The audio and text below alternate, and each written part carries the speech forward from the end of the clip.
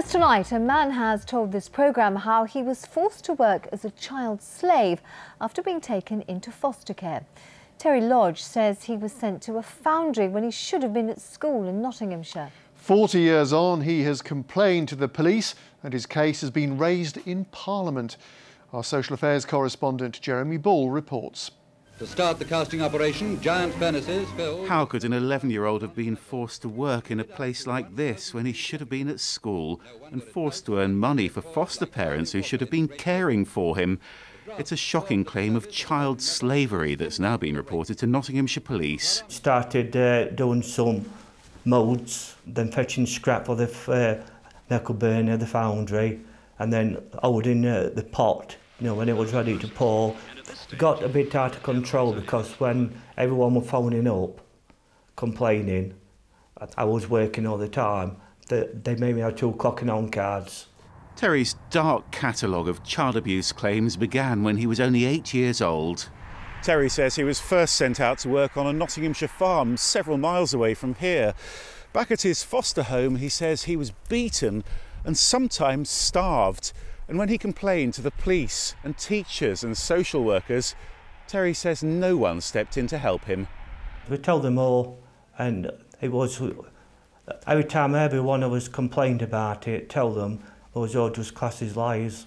They spoke me child life and they spoke me manhood and everything. Children being sold as slave labour onto farms is a scandal yet to emerge in this country. Terry's local MP has raised his case in Parliament.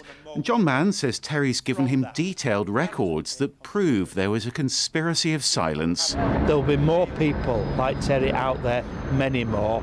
It shows the levels of depravity that were there, but also the collusion, without question having met him many times now and heard his story. The collusion of the authorities who didn't want to know.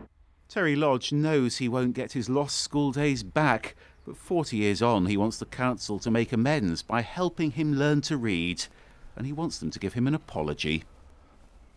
Well, Jeremy's with us in the studio now. It's just awful, this, isn't it? Shocking, isn't it? And uh, this is now being formally investigated by Nottinghamshire County Council. They've sent me a statement this afternoon that says that Terry's complaints are being taken very seriously. There's now a social worker supporting him, and he's also been given a number of adult literacy sessions to help with his reading.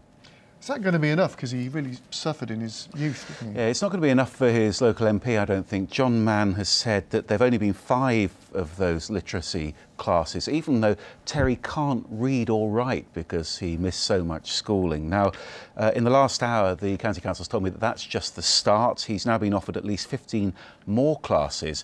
And after so many years, the Council says this is going to be a really complex investigation. I bet it will. Thanks, Jeremy.